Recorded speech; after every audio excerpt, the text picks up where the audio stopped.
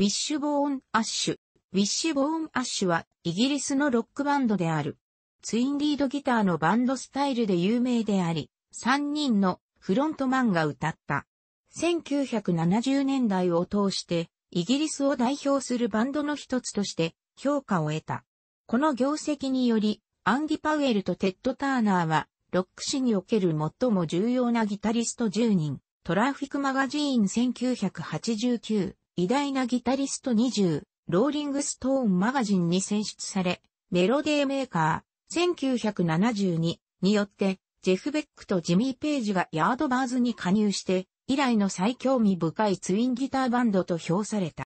1966年、デボン州トーキーにて、スティーブ・アップトンとマーティン・ターナー、グレン・ターナーのターナー兄弟で母体となるバンド、ザ・エンプティ・ベッセルズ後に、タングルウッドが結成され、後ロンドンに進出。だがグレンが脱退したためテッド・ターナーが加入する、同姓ではあるが兄弟と血縁関係はない。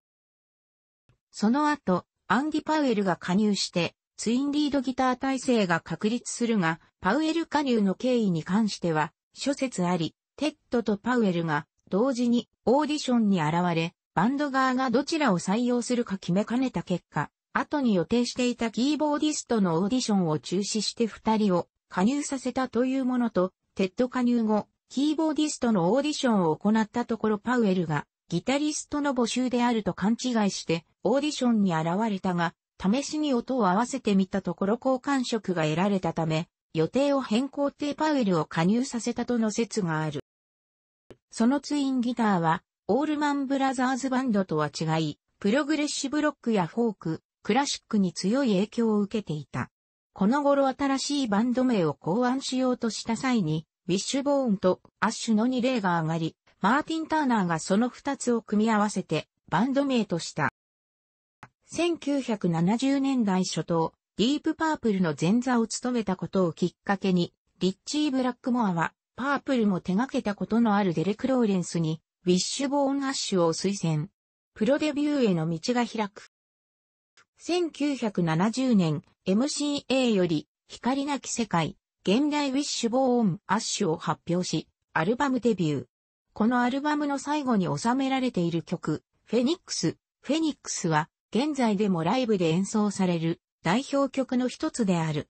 1972年に発表した3枚目のアルバム、百眼の巨人、アーガス。アーガスは、ツインリードスタイルの完成を果たしたことで、バンドの最高傑作と称され、英国チャート3位に入る。このアルバムは内容もさることながらヒプノシスによるジャケットデザインでも現在に受け継がれる傑作とされる。また、この作品にはマーティン・バーチがサウンドエンジニアとして参加している。このアルバムは音楽雑誌の読者投票によってロックのベストアルバムに選出され、アルバム英国部門1位メロデメーカーマガジンとなった。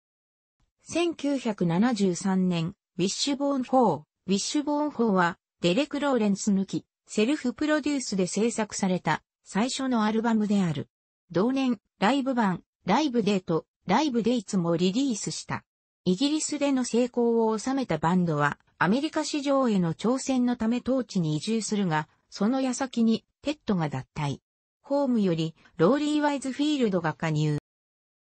1974年、永遠の不安、ゼア、エスザラブ、1976年、限りなき束縛、ラクトインは、トム・ダウドによってプロデュースされ、キーボードを取り入れ、アメリカ市場を意識した音作りに転換していった。なお、限りなき束縛には、ホイットニー・ヒューストンの母、シシー・ヒューストンがコーラスで参加している。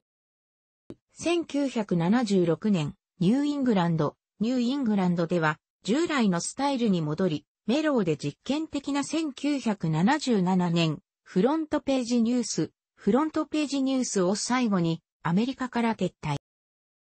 1978年からはイギリスに戻って活動。実験的なアルバムの後で、ウィッシュボーンアッシュのルーツに戻ることを決意し、バンドは、インガリズ、ノースモークウィズアウトファイヤーでローレンスと再び組んだ。曲は主に、ワイズフィールドとターナーによって書かれた。1980年2月、バンドは6ヶ月かけて制作したジャストテスティング、ジャストテスティングをリリースした。パワーポップなども意識した音作りを進めるが、1981年に中心的存在だったマーティンが脱退。ジョン・ウェットンが加入。だが、間もなく、ウェットンも脱退し、後任にはやはり、ユーラやヒープ人脈のトレバー・ボーダーが参加。だが、メンバーの出入りが激しくなる一方で、パウエルがバンドを支え続けたものの影響力は低下する。1987年、バンドの初期マネージャーであるマイルス・コープランドが立ち上げた新レーベルより、オリジナルメンバーによるインストアルバム制作の話が持ちかけられ、それを機に、テッド・ターナー、マーティン・ターナーが復帰、14年ぶりに往年の編成が復活し、アルバム、ヌーボー・コールズがリリースされた。インストアルバムであったため、ヌーボー・コールズの売り上げは低調であったものの、それに伴うオリジナルメンバーによるツアーは大好評を博し、70年代以来の大規模なものとなった。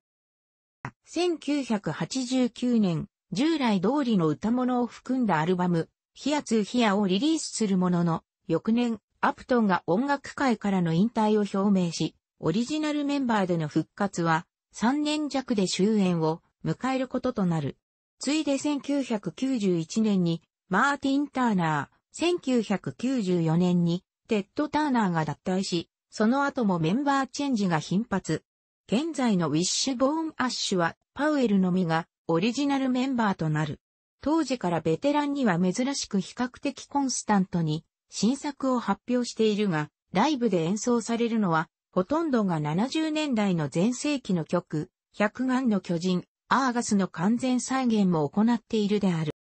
楽しくご覧になりましたら、購読と良いです。クリックしてください。